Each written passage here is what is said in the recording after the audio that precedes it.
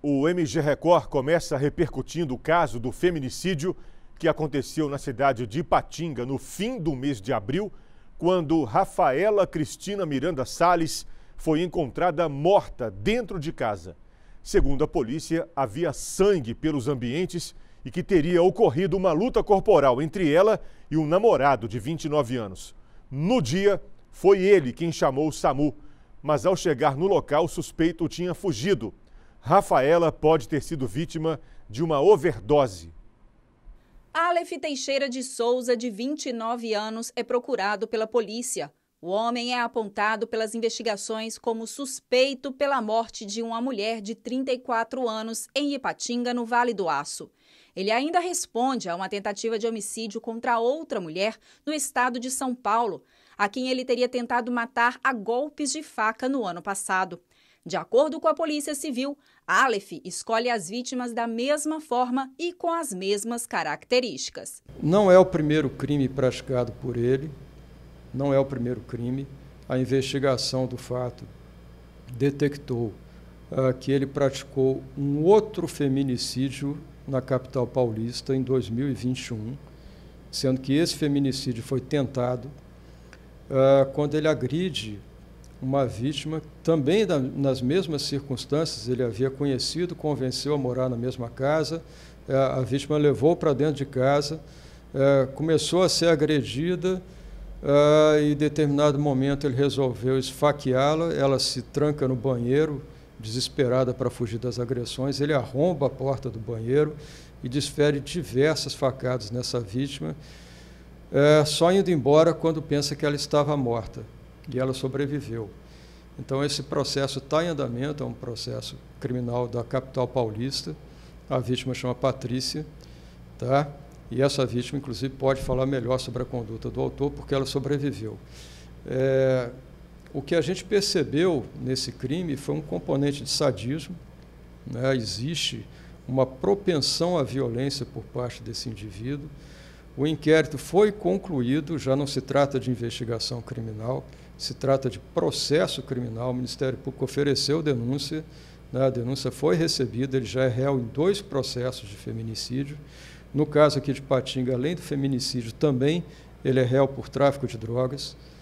É, e foi expedida, né, foi acatado o nosso pedido de decretação da prisão preventiva, até porque ele estava ameaçando familiares da vítima.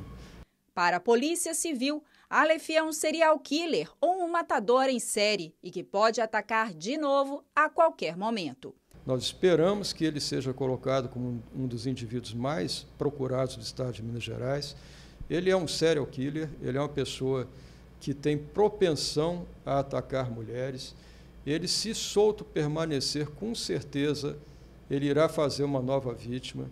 Aleph está sendo procurado pelas polícias de Minas Gerais e de São Paulo. No estado paulista, ele é suspeito de uma tentativa de homicídio contra uma mulher. No dia do crime, ela passou horas sob a tortura do suspeito e, ao tentar se esconder no banheiro, foi esfaqueada várias vezes. A mulher sobreviveu ao atentado, mas Aleph fugiu para Minas Gerais, onde fez uma nova vítima. No dia 28 de abril deste ano, Rafaela Cristina Miranda Salles, de 34 anos, foi encontrada morta na casa onde morava em Ipatinga, cidade que fica a cerca de 200 quilômetros de Belo Horizonte. O suspeito pela morte dela é o homem que está sendo procurado, com quem ela tinha um relacionamento há pouco mais de dois meses após se conhecerem em um aplicativo de relacionamento. De acordo com as investigações, Rafaela morreu em decorrências de inúmeras agressões, asfixia por esganadura e overdose que teria sido provocada pelo suspeito. Ele se preocupa é ficar fora do alcance da justiça, e é o que nós queremos que aconteça, que a justiça o alcance onde quer que ele esteja, porque ele precisa ser parado, porque esse crime hediondo precisa ser punido e porque o crime que ele praticou em São Paulo precisa ser punido. Nós precisamos localizá-lo, nós contamos com a ajuda da população. Os cartazes que serão confeccionados de procura-se serão um meio auxiliar para alcançar esse objetivo. A equipe tem como prioridade localizá-lo e a sociedade pode nos ajudar É, o que parece é um indivíduo com, com bastante relacionamento social, entendeu? Conhece muitas pessoas aqui na nossa região e essas pessoas que o conhecem, sabendo do que ele faz e do que ele fez, essas pessoas podem fornecer informações à polícia sobre seu paradeiro e que vão auxiliar na sua captura. É o que a família de Rafaela mais deseja. Não foi fácil para a gente, não está sendo fácil dia, nem hora, nem minutos, tudo é muito difícil.